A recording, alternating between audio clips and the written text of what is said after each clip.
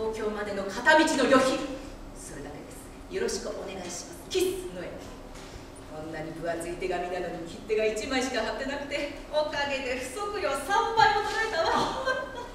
私も九州の女です。九州には向こう水なところがあります。向こう水なのは九州ガのじゃありません。女が向こう水なのです。原稿みんな取ってきたよ。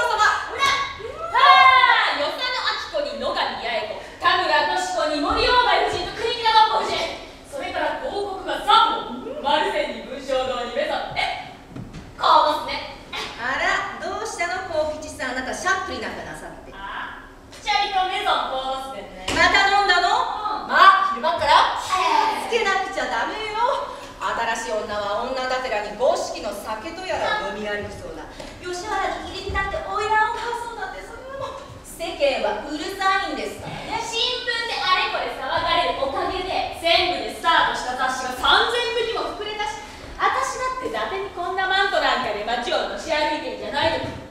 ああ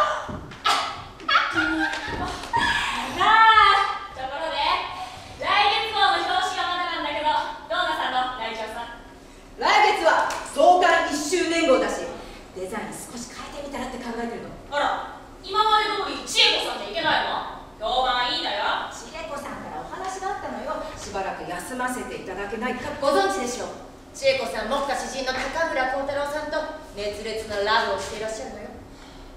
ラブ。いかんな。ラブぐらいで仕事を放り出したりしちゃ。女はすぐにそれだから。ええー、ごめんなさっこちら正当者さんで。そうだよ。そっちは？私近代思想という文芸雑誌の荒畑寛想というケチな社員でして近代思想？聞きませんねそんな雑誌。ごもっとも実は今日その第一号がすり上がりましたばかりこの雑誌大杉栄さんが編集発行人とありますか？はい大杉と私。それから大杉の家内の堀安子というのが会見の方をやってくれてるんです。大杉私もついこの間韓国を出たばかりで風邪だしまずはこんなところから始めておいおいと。堀安子さんといえば来年1月の婦人問題特集号に原稿お願いしてございます。で私どもに何か？実はそのことなんです。ねと申しますがまあ言ってみれば同じく文芸の道を志す同業種でもあり何かとお引き回しご協力いただければ。ご協力ってどんな？そう。まずはお宅の紙面のどこか片隅でもよろしいから当方の雑誌をご紹介ください読者を広めていただきたいんです。で？私どもが考えておりますのは雑誌の発行だけではございません。原稿を寄せてくださる先生方読者の方々にも集まっていただき座談会や研究会のようなものを計画いたしております。その説はぜひ皆さんにもご出席を願いたいんです。大隅さんとおっしゃると無政府主義でいらっしゃいましょう。何か主義の宣伝でもなさいますか？あいやそんな。ただもう気軽に寄っていただいてえ軽い飲み物でも飲みながら今流行りのイプセンや人形のやドラなどの話をするだけです。会場は日本橋のメゾンコーロス。メゾンコーノス？でもあなた方のは結局無政府主義か何かのお話になるんでございましょう。無政府主義。それもまた話題の一つです。限りなき自我の拡充。自我の完成。自己以外の一切の権威権力を認めず万難を排しと自己の発言それらは全て皆さんの正当そして私ら無政府主義者に等しく共通するテーマなんです。しかし正当とはいい命名です。青い靴下。つまり正当。しかし拝見したところ誰一人としてブルーのストッキングなど履いたご婦人がいらっしゃらないのは奇妙じゃありませんか。ねえ皆さん。いや！おお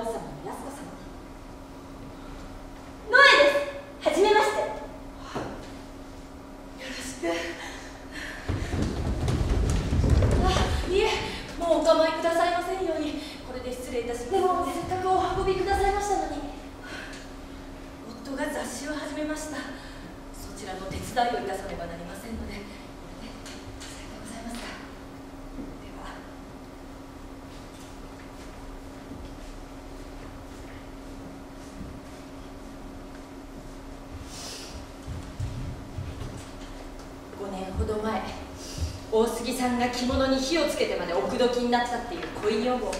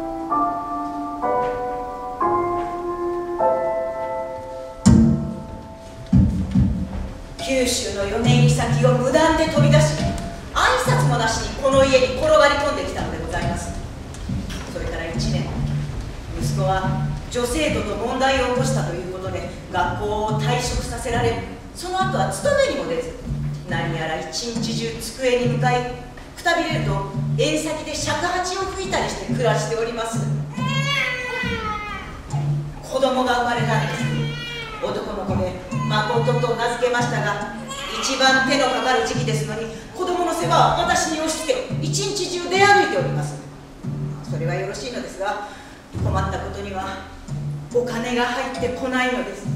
だのに2人ともそんなことには一向に無頓着でお母さん明日の晩はすき焼きにしようよだなんて平気で申しますのです。す。き焼きといえば道一つ隔てた借家に来長さんと絵描きの奥村さんという方が越してまいられましたが毎日夕方になると2人で私どもの家に夕食を取りに参られます。来長さんという方女子大の家政科を首席で卒業されたんだと聞きましたがこれがどういうわけかご飯の炊き方をご存じないんだそうでございまして。ですから何かといえばじきにすき焼きです。ところがうちの嫁実家でどういうしつけを受けましたものか鍋の代わりに洗面器を使うんでございます。何がどうなっておりますものやらこの頃のご時世私どもにはもう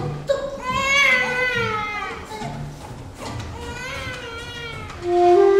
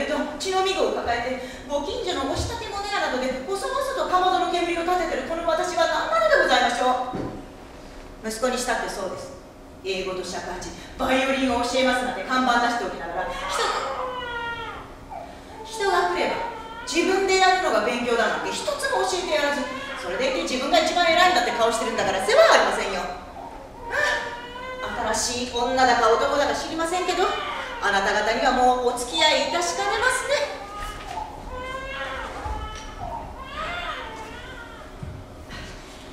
井上さんのことは申し訳ないと思っております。事務所の仕事を手伝っていただいていた上近さんという方が東京では職が見つからず青森の弘前の学校に赴任させられ手が足りなくなっております上に。先々月から雑誌の使命をこれまでの文芸誌から婦人問題誌に切り替えました。以前にも増して風当たりが強くなっております。内務省の警保局長というお役人が昨日の新聞で政党の女の黄色い声は男に捨てられた女たちの男ゆえに捨て鉢になったものだと申しました。ノエさん今日はそちらに講義に行ってくれています。政党という雑誌も今ではノエさんのお力で持ってるようなものですが。あの子はいい子です。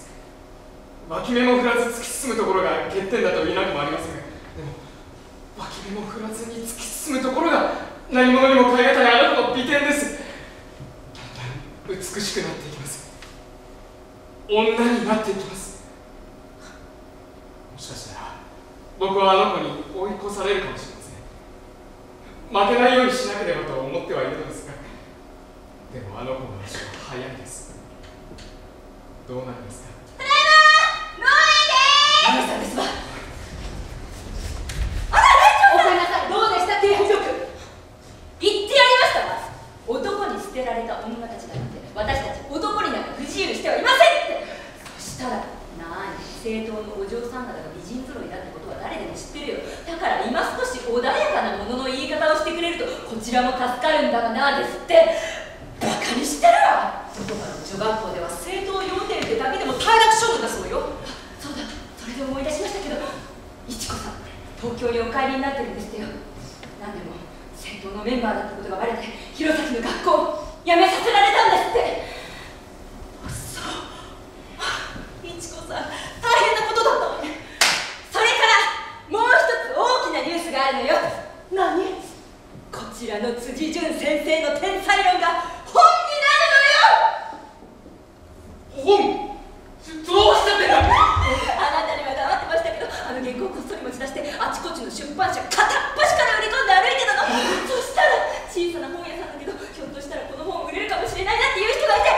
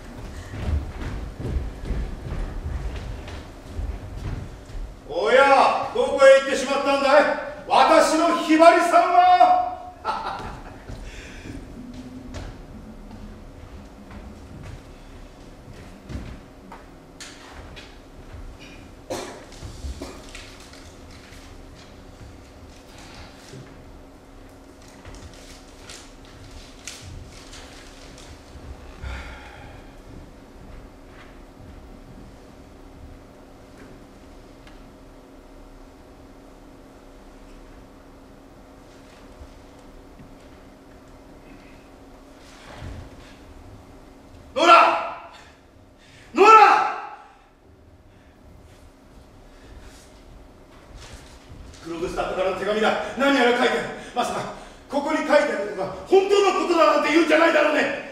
本当のこと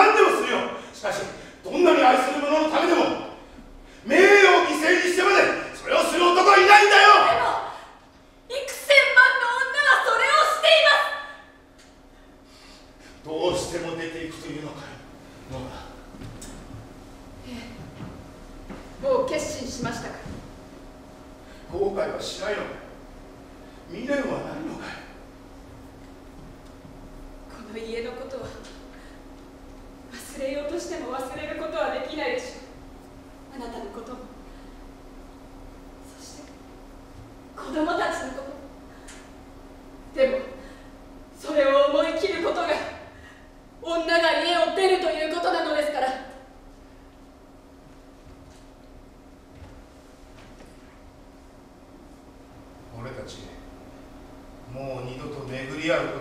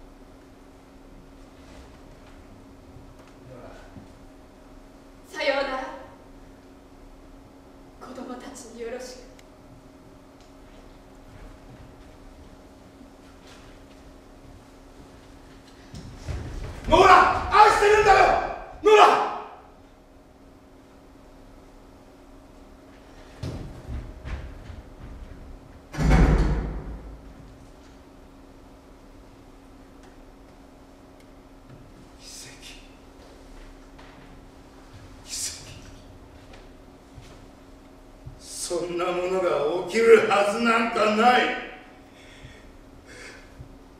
ノラノラ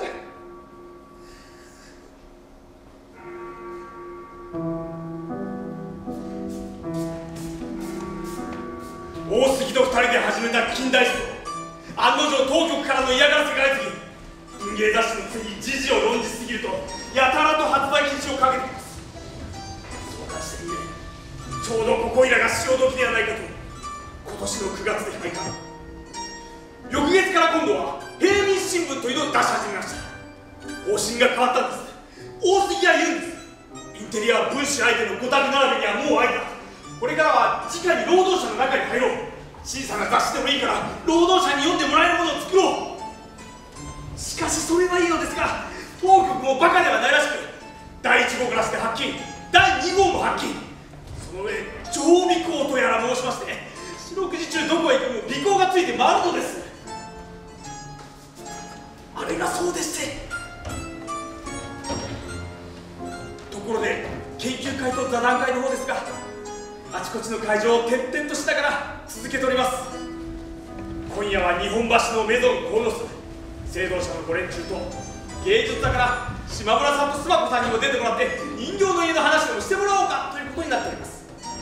須磨子さんといえば今年の3月に上演したトルストイの復活が偶然の大当たりを取りまして松井須磨子といえば日本中誰一人知らんのないほどのスターになられましてそうあの劇中の主題歌カチューシャ可愛いあの歌が今全国を風靡しているんです。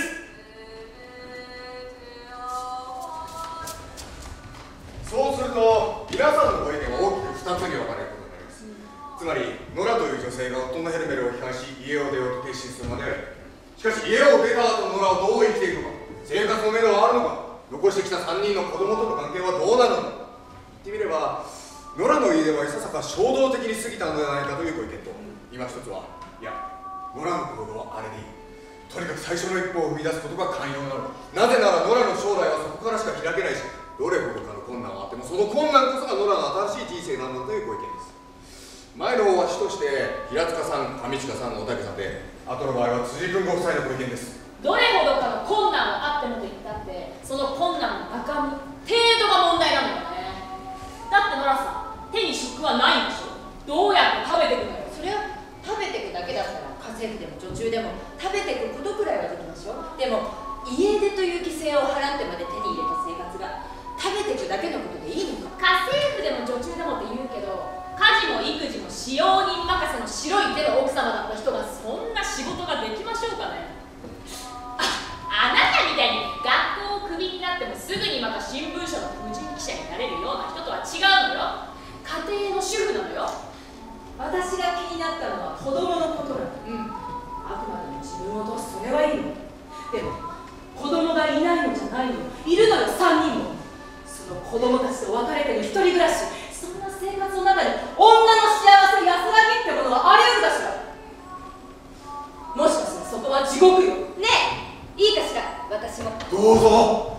正当者広しといえども相撲として子持ちなのはあなた一人なんですから。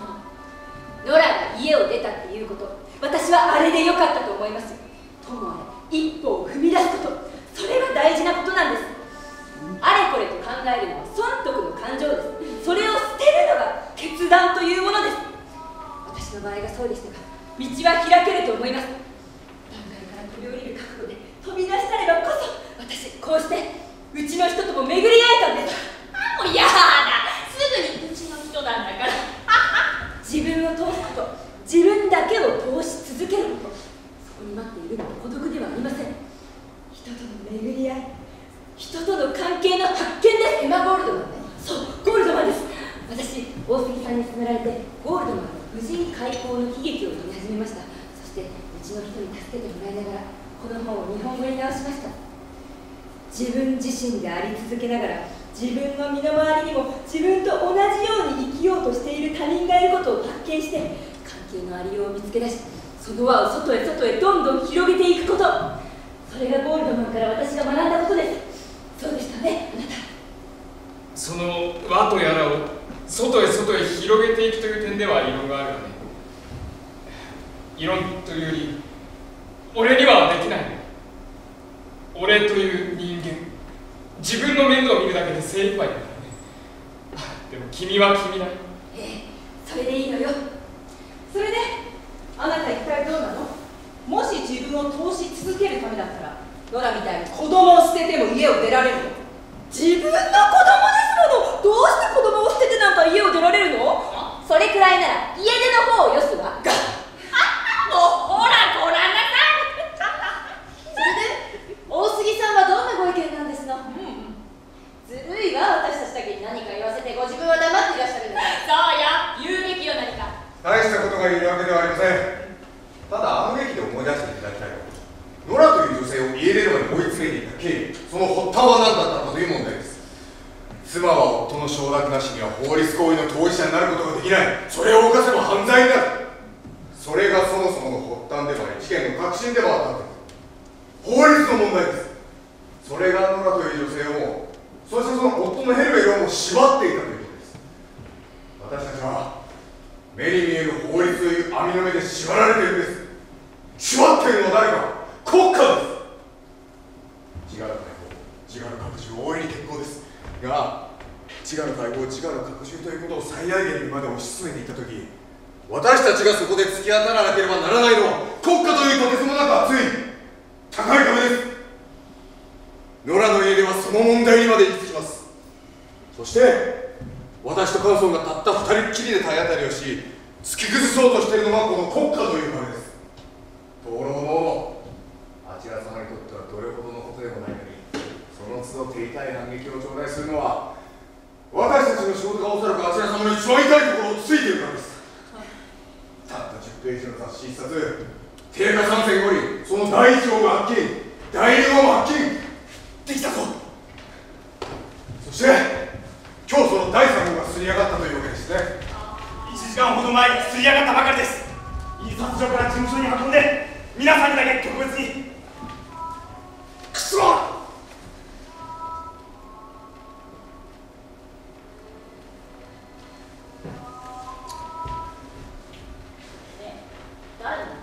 警視庁からのお供ですよ。別に何もしやしません。そう。あれが尾行なの。よし。じゃあ私ねえあんた。あんたここが政党のたまり場だって聞いてきたのね。多いのよ。じゃあお近づきの印に一杯やるからジョイント!五色の酒を2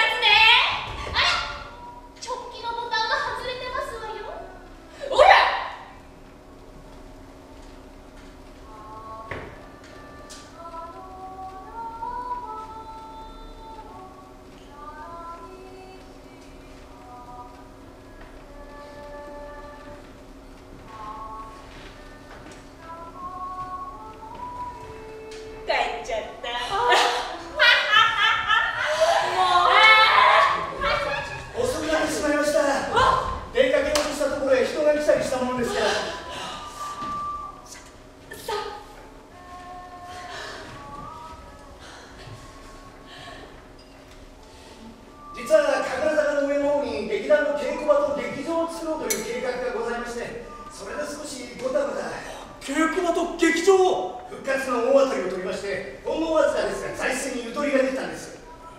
復活のような大衆系のするような芝居ばかりを上演する気はもっとありません。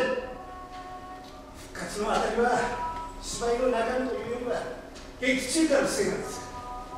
私が考えておりますのはもっと真面目な厳しい演劇です。そのための土台足場を作っておこうと思いましてね芸術クラブという名前を考えております。芸術クラブですか？ええ、劇場と稽古場と大小いくつかの集会室なども備えた芸術センターです。私ら劇団の者もそこに居住できるような設備も整います。いろいろと書かれたりしておりますので皆さん全国ご承知かもしれませんが。私家を出まして今松井と暮らしております。仕事の上でも私生活の上でも私ここを私どもの戦いの最後の砦としたいのです。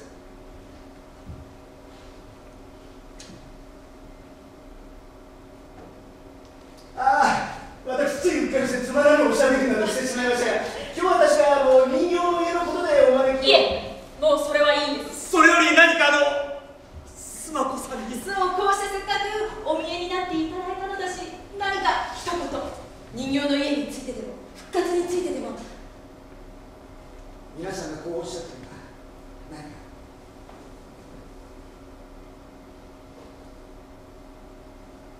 舞台と平場とは違います。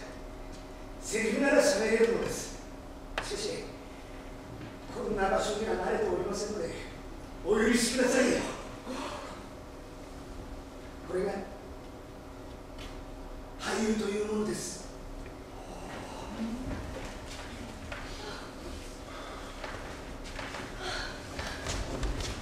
どうした？第3号も発売禁止だそうです。事務所に人が来て印刷所から運んだ生の梱包を残らず引き上げていきました。またやりやがったのか！どこまでやれば気が鋭いんだ？殺してやる！大き！い大き！い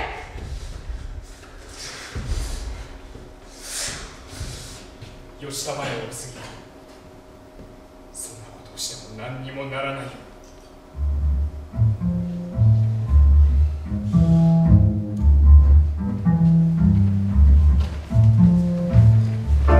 政党の編集方針が外へ外へと広がっていくにつれ私にはそれが少々お荷物のように感じられ始めました。外へ外へというのは野江さんの方針です。そんな方針についていけないとおっしゃる皆さんも多く身近なところではまず幸吉さんが辞められそれからこれは新聞社のお仕事の関係もあって一保さんも会を退かれて編集の仕事はとうとう私と野江さんの2人になってしまいました。編集プランの検討と執筆を願い割り付け構成広告取りに印刷屋さんとの交渉お金のやりくり。疲れるんです。とても。私野江さんにしばらく休ませてほしいと言って後のことを頼み千葉の御宿海岸に参りました。広瀬さんも一緒です。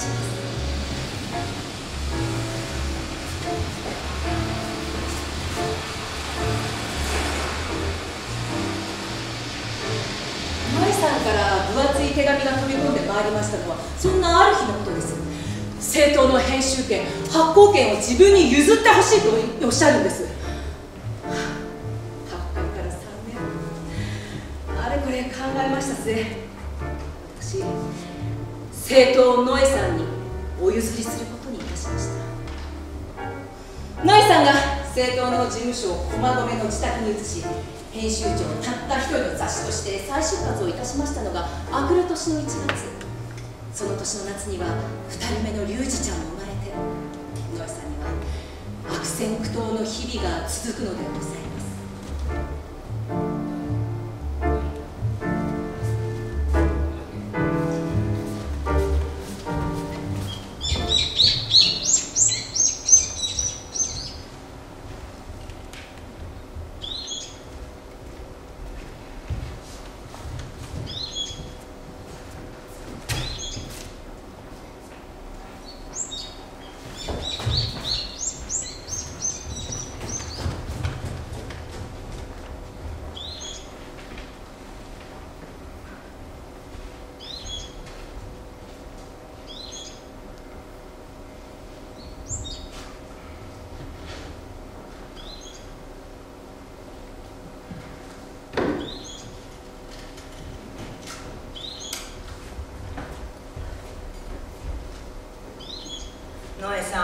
昼には帰ってくるだなんて言っておきながら何をしてるんだろうね。それからさっきそこのところに警察の探偵みたいな人が立ってたけど何かお上に叱られるようなことでもしてるんじゃないだろうね。この頃人の出入りは多いしちょくちょくなんだよ。そんなにしてまで出さなくちゃいけない雑誌かどうか私には分からないけど出ていくお金ばかりで入るお金はなし。このままじゃ一家5人今に首くくりだよ。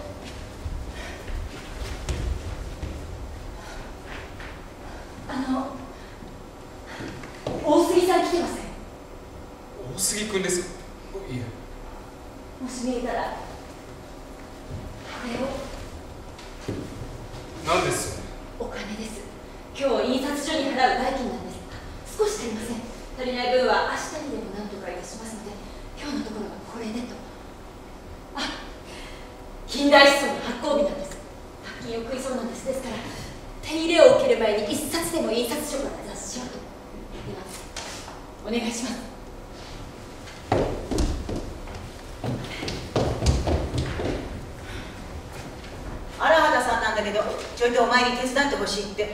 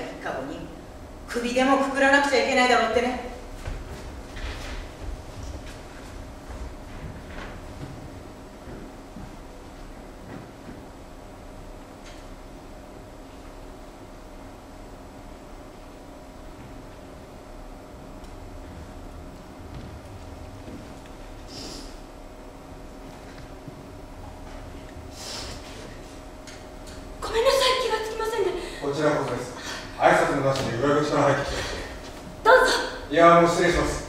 ちょうどよかったんですが菅さんと連絡がついて進みました。今日は近代思想の発行日だったんでございましょう。案の定発りです。印刷所が抑えられました。やはりでもその前に菅さんが少しこちらに運びましたそうで。迷惑ではございませんからどうぞご遠慮なく。平民新聞が出せなくなり意気消沈しているところへそんなことではいけない。出し続けるべきだと。近代思想の復刊を進めてくれたのはあなたです。お一人で成功を出すだけでもご苦労なるうちに。いろいろと。あんな雑誌一冊出すだけでも死ぬような苦労です。くじけそうになります。でも私だけじゃない。大杉さんと菅総さんも頑張っていらっしゃるのだと思えば心に張りができます。私のためにも頑張っていただきたいんです。お二人に。やるつもりです。あなたを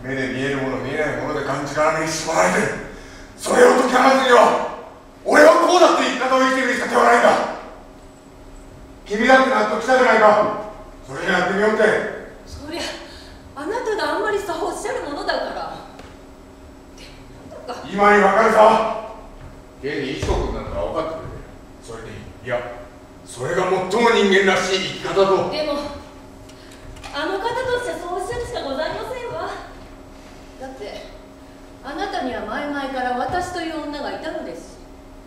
あの方それを承知で後から割り込んでらっしゃったんですものね。あの人は言ってたよ。この場合最も注意しなければならないのは女同士の嫉妬の問題だ。私は必ずそれを超えてみせますからね。さあそのことがそんなに簡単に参りますか？どうしてできる？そのことが今度のことの願目なのに男には男の目でも女には女の生理というものがございますからねお洗濯物これだけでいいのですか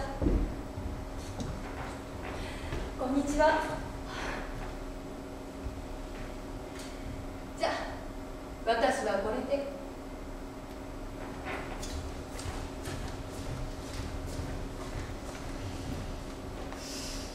研究会なんかやめて直接お入りになるんですってね。労働者の中に。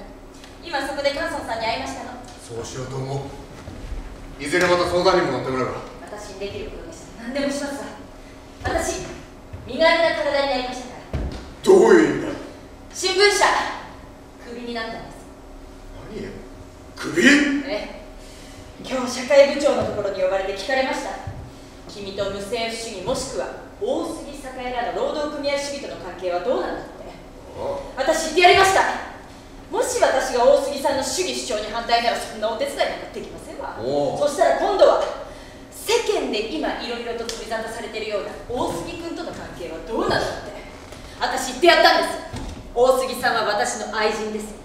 すると今度もし今言ったことが事実だとしたら君は我が社の社員としてどういう処置を取ればいいと思う？か意見を聞かせてほしい。言ってやりました。やめます。もう先生しましたわ。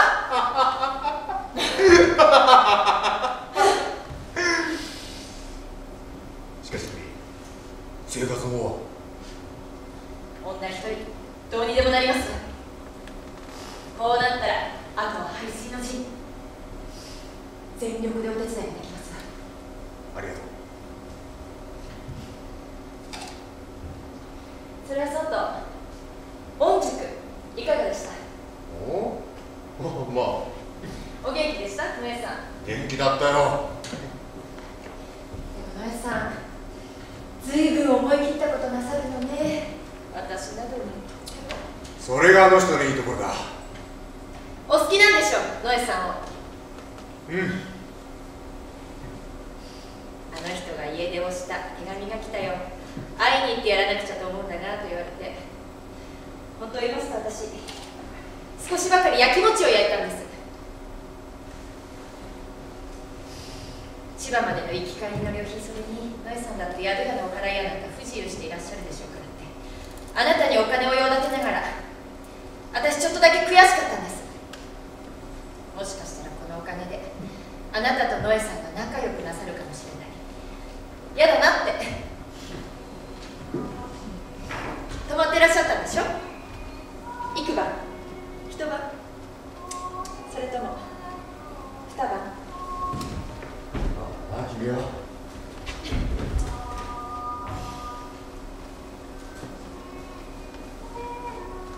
ごめんなさい。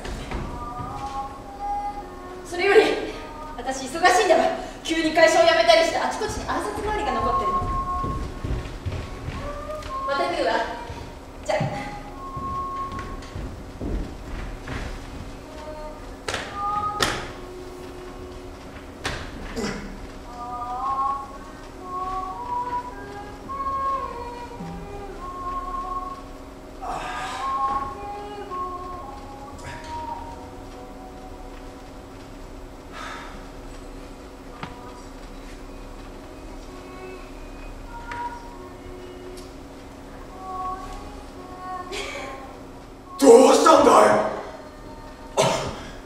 千での話ではもうしばらくあちらにいるようなこと言ってたじゃないか。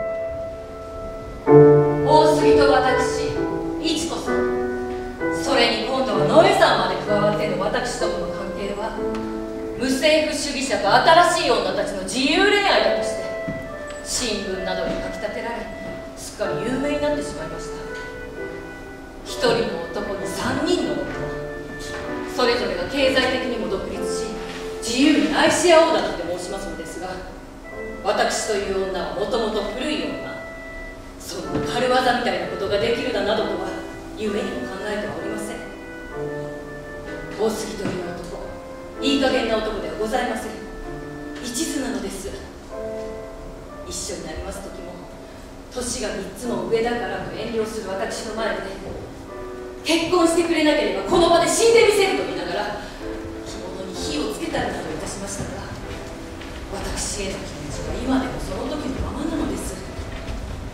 私には分かります。大杉は私だけでなくいちこさんもそして野江さんも好きなのです。それを子供のようにダダをこねているだけなのです。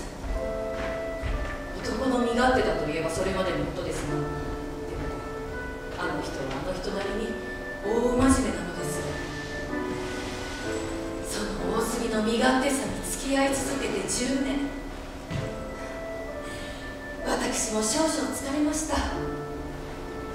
過去独立しての自由恋愛だなどと申しましても男と女のこと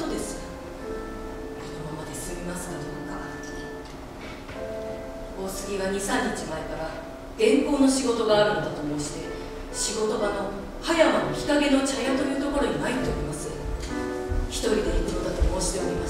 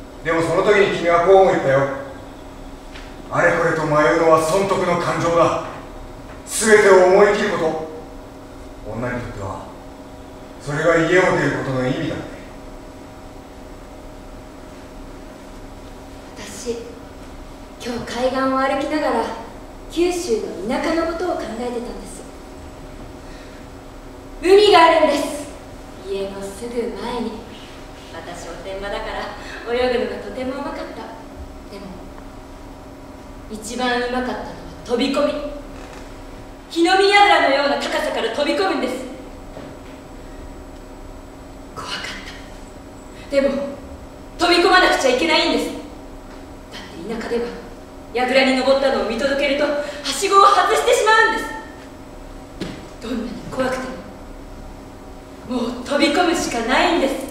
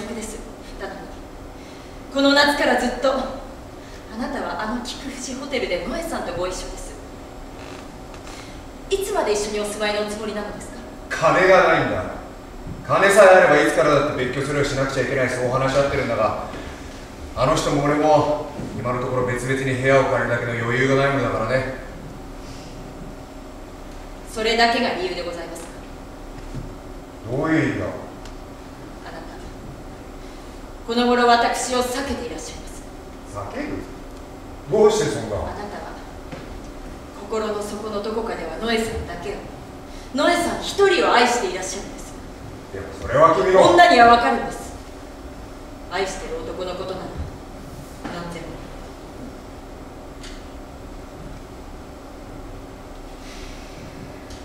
土台無理だったんですあんな約束そのものが。私尊敬していましたあなたを。だから分かろうとしたんです。初めから辛いことでしたそれは。でもそれが分かっていながらあなたを信じあなたのおっしゃる愛の理想にかけてみようとした私が愚かだったんです。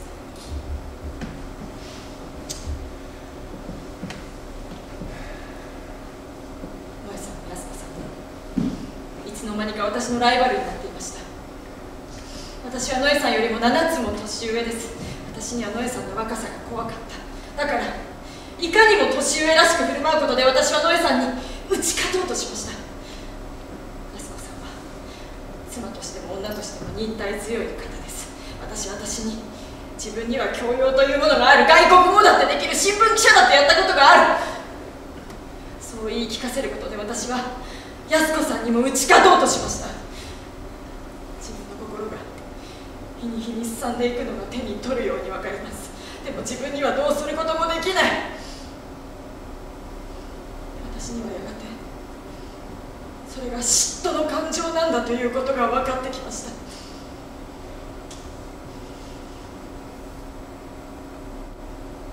私たちの自由の関係。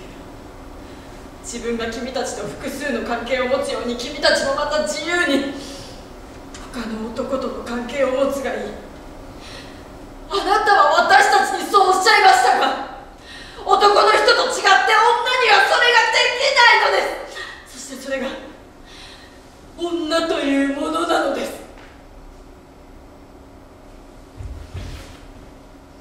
大杉さん私と一緒になってください。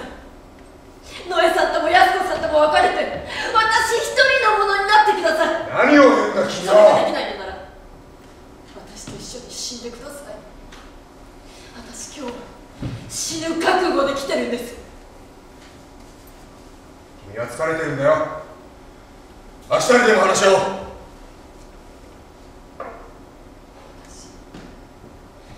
一生懸命にお話ししてるんです聞いてください。もっと真面目に。だから明日にしようと言ってるんじゃないか今でなくちゃいけないんです。私真面目なんです。お願いです。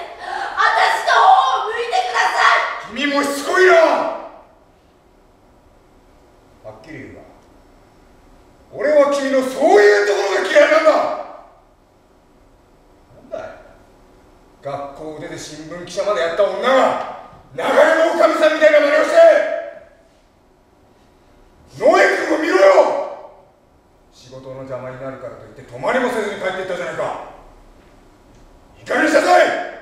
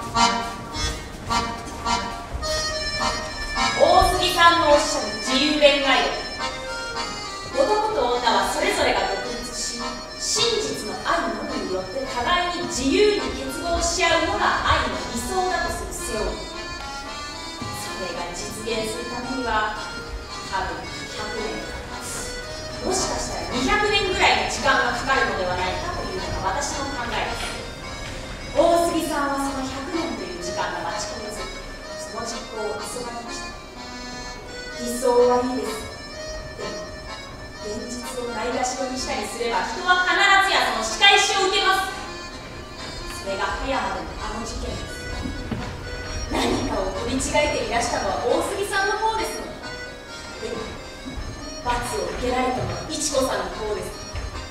不条理といえばこれ以上の不条理はないのですがでもそれは私たち女が置かれている社会の状態ですいずれにしても今度の事件。恋の勝利者はノエさんです。いちこさんは獄に下られそして安子さんは事件の後きっぱりと大杉さんとの縁を切られたのですか？私でございますか？実は私どうしてもとおっしゃる方がございまして結婚をいたしました。相手は陶芸家です。まだ新婚のせいもあるのでしょうか？君台所のことなんかしなくてもいいのだよ。だ なんて申しますので絵付けを手伝ったりなどいたしております。今日でございますか？ええ今日は珍しくカンソンさんから連絡がございましてしばらくぶりに新年会でもやろう。場所はメゾンコーノス懐かしい顔が揃いますよ。って言われた主人に申しましたらああいいよ。僕のことならいいからゆっくりと遊んでおいだなんて。どうですか。お子さんもお二人のですか。上の子が3つで下のが1つ半女の子が1人。に男の子が1人。私たち恵まれてればねって言ってるんです、ね、えあらー。まだたったこれだけ？あと大杉さんとノエさんもいらっしゃるしそれから須磨子さんも。そうだってちょうだい。どうなさったの？お酒おやめになったの？ええ。家庭の妻ですものもうあった。おかわりになったわ。そうでしょうか。そりゃそうよ。だってあの頃は五色の酒だなんだって。正当者の看板あなたが背負ってらしたようなものですからね。それはそうと。須磨子さんのカルメンご覧になった。えまだなの。だって正月の2日に初日が空いたばかりでしょ。ご覧になるといいわ。これまでの須磨子さんのお芝居とお芝居が違うの芝居が違ってどこがどう違うんです？あれは何場だったかしら。トランプを切るシーンがあるのね切るでしょ。ところが切りながらあの人がふいっと表情が消えてどこか遠くの方を見てるみたいな。うつろな目になるの。それがお芝居なのかそうじゃないのか。そこのところがひどく不気味な感じなの。もしかしたらホゲ先生の私もそう思ったの。宝月先生が突然亡くなられてまだ二月も経ってはいないでしょ生きるも一緒なら死ぬのも一緒って言い交わされた仲なのですものねそう宝月先生に先立たれて須磨子さん女としてどう生きていらっしゃるのか。ところで辻さん今日いらっしゃいますの？あちこち心当たりを探してみたんですが連絡がつかないんです。お家には？お家にはもういらっしゃらないのよ。家を出られたの。出てどこに？どこにということはないです。昨日は上野今日は浅草という場に流して歩いてるんです。そんな感じで角付けをしながら。角付けを？そう。ノエさんが残していかれた誠ちゃんを連れてね。知らなかったわそう。辻さん。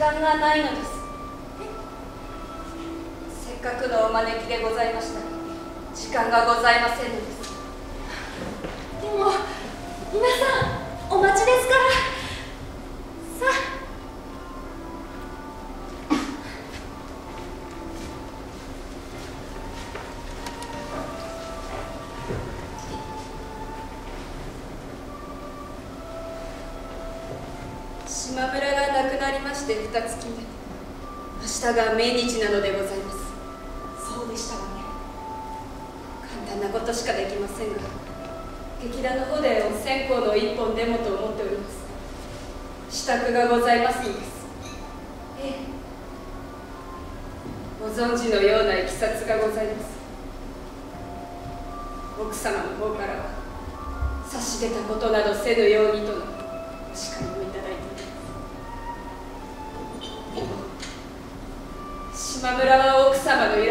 地ではなく芸術クラブの2階。私との小さなお部屋で私に見とられながら息を引き取りました。私のために家を捨て家族を捨て職場で捨て進撃一筋。私のような女をここまで育ててくれたのは島らです。その島村が仕事仲間であの世へ行ってしまったのでございます。線香やろうそくは本家の方であげる。お前があれこれすることはないのだ。と奥様は申されます。でも島村は私にとって生死を誓い合ったただ一人の男性です。その島村の命日。になぜ線香をあげてはならぬのと舞台の上でいろいろな愛を演じてまいりました。役者でございますので難しいことは分かりませんでも愛と申しますのは卑怯二つの魂が一つになることだと私には思います。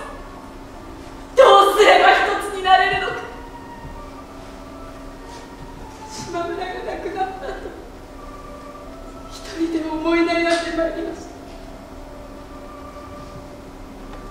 女一人世間の好奇の目にさらされながらこれからの長い人生どうやって生きていけばよろしいのか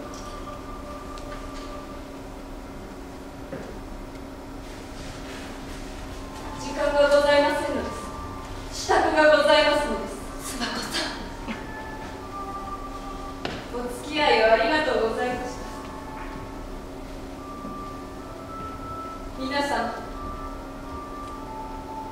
良いお仕事。では。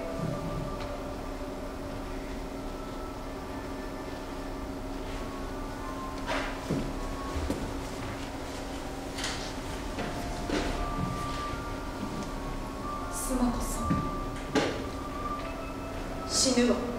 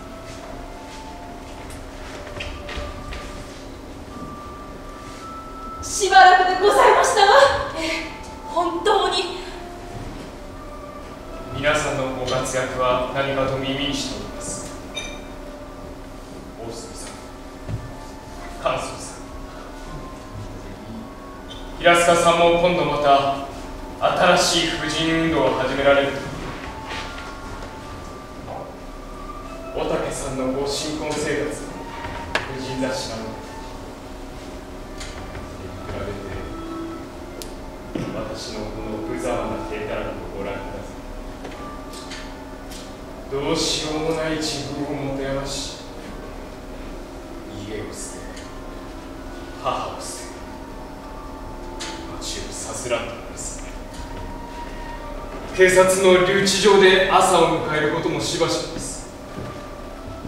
中佐が聞くのです。何を好き好んでそんな生き様を続けているのか。答えるしかありません。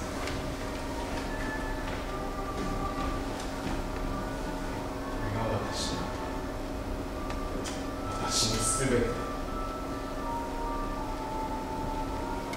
自分というものにこだわり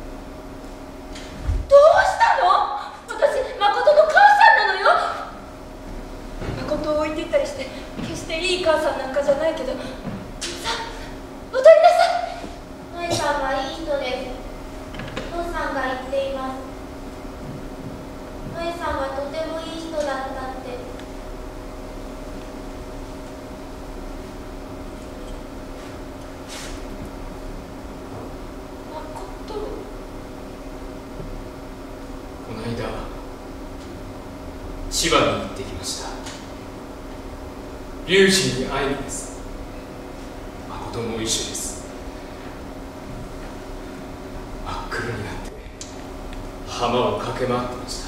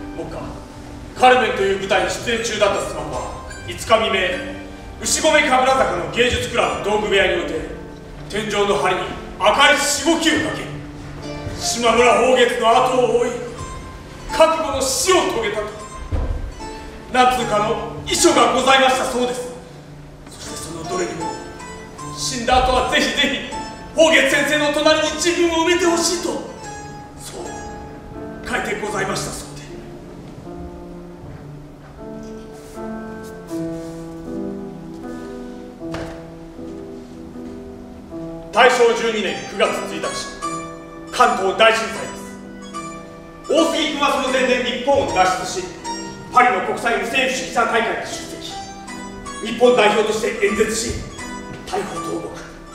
そしてこの7月に帰国したばかりでした一方のノエさんは暑い盛りの8月に大杉君との間の5人目の子供を出産したばかり。マコをはじめとしてエマルイズと女の子ばかりが続いてきた後に生まれた男の子ネスト。大杉君の喜びようは一通りのものではございませんでした。大杉君とノエさんが川崎の鶴見にある大杉君の弟宅を見舞いに出かけたのは震災のほとぼりもようやく冷めかけようとする。9月16日のことです。大杉君が日本に帰ってから借りた。新宿の柏木の家。訪ねてみたのですが留守。帰ろうとしたところへお使い帰りのマコにあったのです。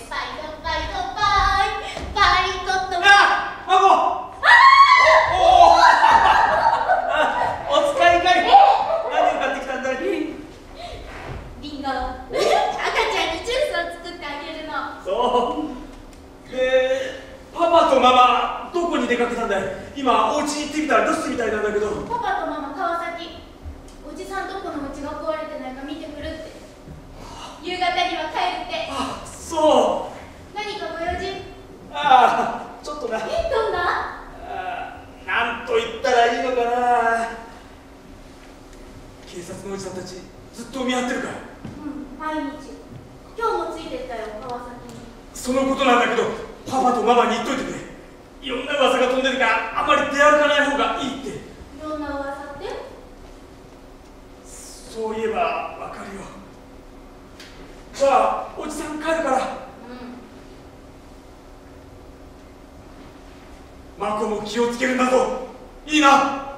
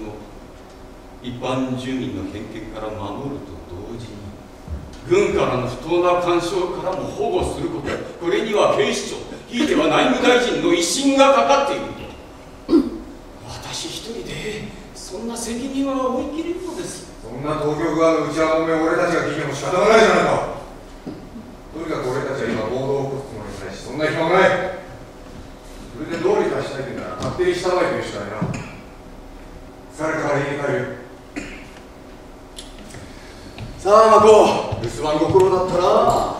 大杉はフランスから帰ったばかり暴動だなんてそんな相談いつ誰とすればいいの？お願いだから。あの人しばらくほっとしててちょうだいまあそれはそうなんですがさあ行きましょうマッコ。よし。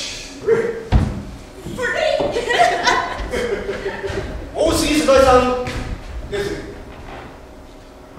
そうですが東京憲兵隊麹町分隊の森憲兵総長です。何か？憲兵司令官の小泉がぜひあなたにお会いしてお話が受けたまりたい憲兵司令官に聞かせて面白い話など持ち合わせていませんよ。と暇は取らせません。お顔を見せていただくだけで結構なんです。しかし私には用が表通りに車を待たせてあります。あよろしければ奥様もどうぞ。私までなんだって憲兵隊みたいなところに。お二方ともそちらの方面では著名な方です昨今の状況についてご意見をお聞かせ願いたいのだと思います。12時間でご帰宅いただきます。お帰りの無論車でお送りいたします。どうする？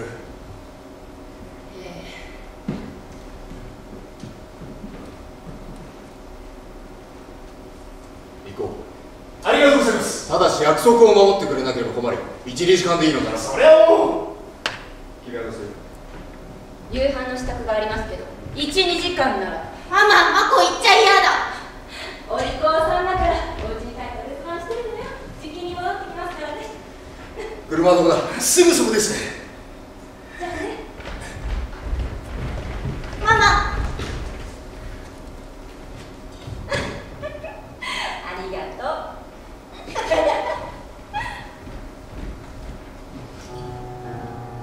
軍の上部と内務官僚との縄張り争い果なんです。それに軍の内部でも何やら対立がございますよ。今回のこと全般の指揮を執っているのは東京憲兵隊の麹町分隊長天笠憲兵隊です。もちろん軍の上層部の暗黙の了解もしくはその指示に基づいた行動でございました。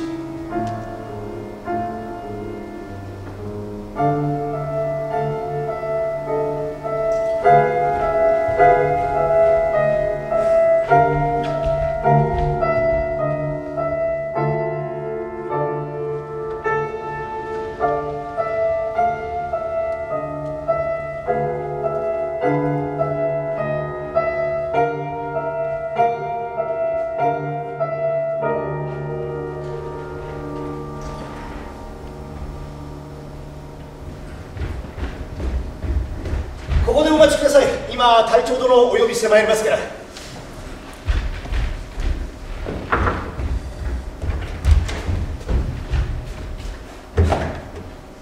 君どう思う？どう思って？何が？さっき正門クールと表札を見たんだが表札には憲兵司令部でなく麹町憲兵分隊だった。おかしいと思わない？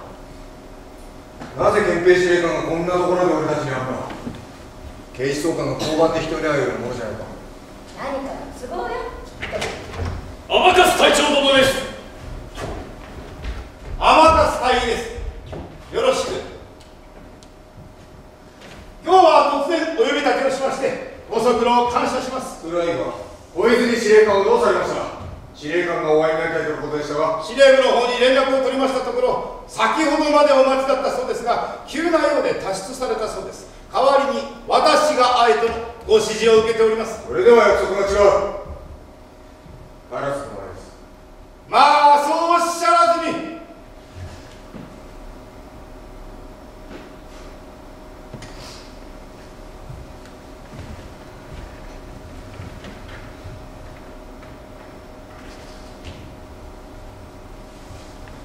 ご承知のようにただいま程度に戒厳令が敷かれております。これは釈迦に説法かもしれませんが戒厳令下においては一般の法律法令は一時その効力を停止してしめられ行政司法その他の国家機能もまたその制限を受け全ての権力は一戒厳司令官の手によって掌握されこれに従属します。これを裏返せばその時社会は法律もなく秩序もなく一種完全なる無政府状態にあると言えます。あなた方は無政府主義者だと聞いております。だとすればあなた方は主義としてこの状態にどう対応されるのか歓迎すべき事態なのかそうではないのかそこのところ参考までにご意見を聞かせていただければと思いましたが地震が来て何百万という人間が食うや食わずで右往左往してるのを見てそれを喜んでるバカがどこの世界にいる？下手な議論をせ軍人のくせに議論などふっかけてこの俺に勝てると思うのか？あなたは軍人の家庭に育っています。父上は陸軍少佐で旅団長まで務められた方。京都の第三師団長閣下はあなたのいとこに当たられるし宴席には近衛師団長もおられます。そのような名誉ある家系に生まれ育てられた人が。なぜ無政府主義者などに？俺は軍人になりたくて幼年学校に入った。気候には悪いが成績はいつも首席を通した。しかし途中から軍人になるのが馬鹿らしくなり3年目に派手な大立ち回りを演じて奉公処分になった。幼年学校ではフランス語をやった。そのフランス語で無政府主義の本を読んだんだ。もしあのまんまあんな学校にいたら命令だ服従だ軍人精神だと叩き込まれて今頃はさぞ融通の利かぬ頭こちこちの将校さんにでもなってたろうよ。私も幼年学校でした。軍人になりたかったんです。あなたと違って喧嘩一つです。規則を守り勉学に励んで士官学校に進み無事に任官して少尉になりました。その年の夏です。乗馬訓練中馬から落ち足の筋を痛めてしまいました。私の希望は子供の頃から歩兵になることでしたが軍医の診断は不適憲兵の天下を言い渡されてしまいました。声を殺して泣きました。憲兵だなど軍人のクズだと思っていたからです。おお。六王入る軍人をやめようかとも思いました。しかし気がついてみると軍人としてしか生きようのない人間になってしまっている私でした。軍人を辞めることは断念しました以後引き続き私は憲兵をやっています。今でもそう思っています。憲兵など軍人のクズだと。なぜなら戦場で花と散ってこそ軍人なのに。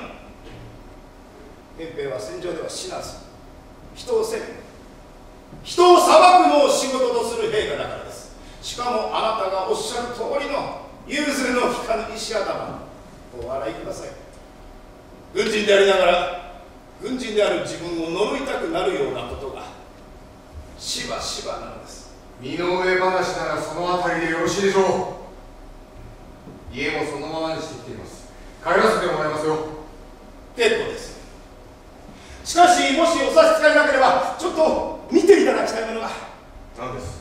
ご面倒でも私の部屋にお運び願いましょうか。ほんの45分で済みますので奥様は応接室の方で熱いお茶でも。どうぞこちらへ。